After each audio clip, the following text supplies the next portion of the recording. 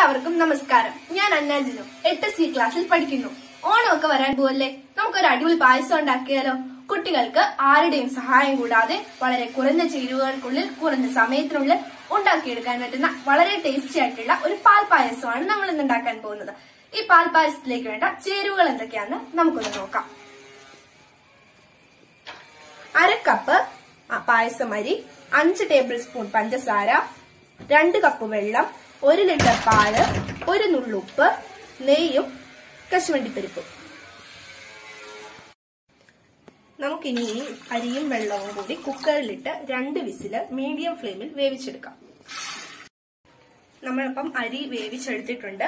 Medium ഫ്ലെയിമിൽ രണ്ട് വിസിലാണ് നമ്മൾ വേവിച്ചിരിക്കുന്നത്. ഒരിക്കലും ഹൈ ഫ്ലെയിമിൽ വെക്കാൻ പാടില്ല.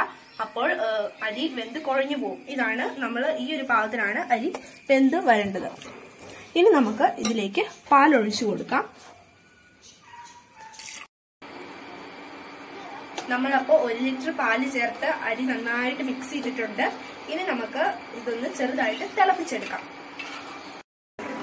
നമ്മുടെ പാലിപ്പം തിളച്ചു വന്നിട്ടുണ്ട്. ഇനി നമുക്ക് ഇതിലേക്ക് എടുത്തു വെച്ചിരിക്കുന്ന അഞ്ച് ടേബിൾ സ്പൂൺ പഞ്ചസാര ഇട്ട് കൊടുക്കാം. ഇനി നന്നായിട്ട് ഇളക്കണം. ശേഷം മധുരം ഒന്ന് ബാലൻസ് ചെയ്യാനായിട്ട് ഒരു പിഞ്ചുപ്പ് ഇനി നന്നായിട്ട് ഒന്ന് ഇളക്കി ആ പഞ്ചസാരയൊക്കെ ഈ ഒരു പാലിൽ മെൽറ്റ് ആയിട്ട് ലൈറ്റ് ആയിട്ടുള്ള നമ്മുടെ പാലിപ്പം നന്നായിട്ട് തിളച്ചു വന്നിട്ടുണ്ട്. ഇനി ഇതിലേക്ക് നട്ട്സ് ചേർത്ത് കൊടുക്കാം. നമ്മൾ നെയ്യിൽ വറുത്ത് വെച്ചിരിക്കുന്നതാണ് ഈ ഒരു കശുവണ്ടി. നമുക്കിതിലേക്ക് ചേർത്ത് കൊടുക്കാം. ശേഷം ഏലക്കാപ്പൊടി. കുറച്ച് മതി. ഒരു കാൽ ടീസ്പൂൺ ഒക്കെ ഏലക്കാപ്പൊടി. നമ്മുടെ പായസം നല്ല അടിപൊളിയായിട്ട് നല്ല റെഡിയായി വന്നിട്ടുണ്ട്. ഇനി നമുക്കിതൊന്ന് ടേസ്റ്റ് ചെയ്ത് നോക്കാം. അടിപൊളി പായസമാണ്. നല്ല മധുരവും എല്ലാ മധുരവും ഒക്കെ കറക്റ്റ് ആയിട്ടുള്ള മധുരമാണ്.